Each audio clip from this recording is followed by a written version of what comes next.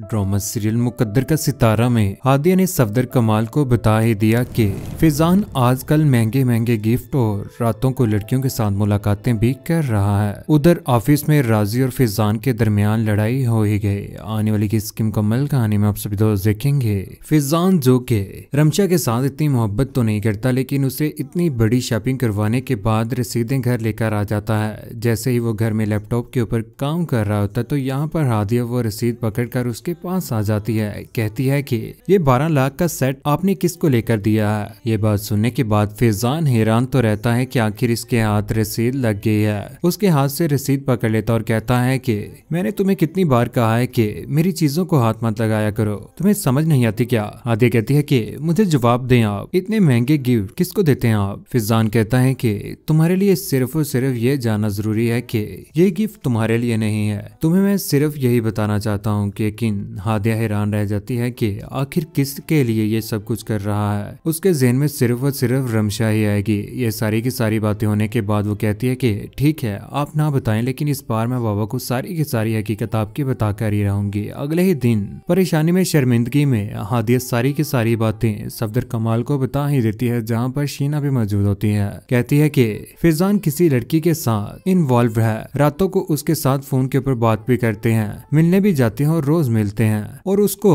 लाखों रुपए के गिफ्ट भी देते हैं। अभी उसको बारह लाख का सेट दिया।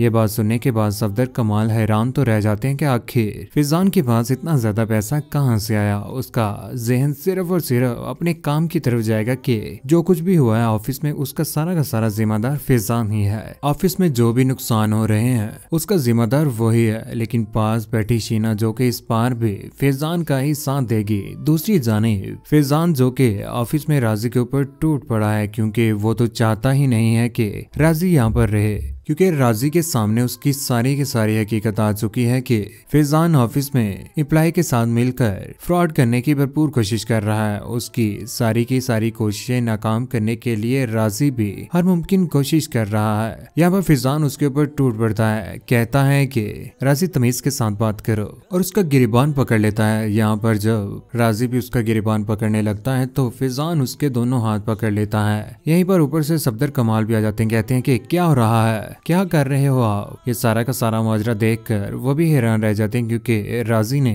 उसका गिरिबान तो नहीं पकड़ा होता, लेकिन फिजान ने उसके हाथ पकड़े होते हैं। यहाँ पर फिजान कहता है की बाबा ये देखें ये देखें, इसने मेरा गिरिबान पकड़ लिया है। राज़ी अपना हाथ सरवाता है यहाँ पर, लेकिन सफदर कमाल के सामने तो फिजान की हकीकत आ ही चुकी है। जो कुछ भी हो रहा है, उसके बाद वो अपने बेटे से पूछने की भी कोशिश करेंगे, लेकिन फिजान साफ़ साफ़ होकर जाएगा। लेकिन इस बार फिजान का बहुत बुरा इंजाम होने वाला है। इस ड्रामे का अख्ताम भी बहुत जल्द होने जा रहा है। लेकिन कौन कौन चाहता है कि नताशा और राज़ी की जल्द अज जल्द शादी हो जाए और वो दोनों एक दूसरे के साथ खुश रहे। रमशा फैजान का बुरा इंजाम कौन कौन देखना चाहता है? नीचे मुसाजर में अपनी मोहब्बत पर राय का एहसान ज़रूर कीजिएगा। चैनल को सब्सक्राइब करने के बाद बेल का बटन ज़रूर पाएगा अपना ख्याल रखिएगा दो में याद रखिएगा। अल्लाह हाफिज।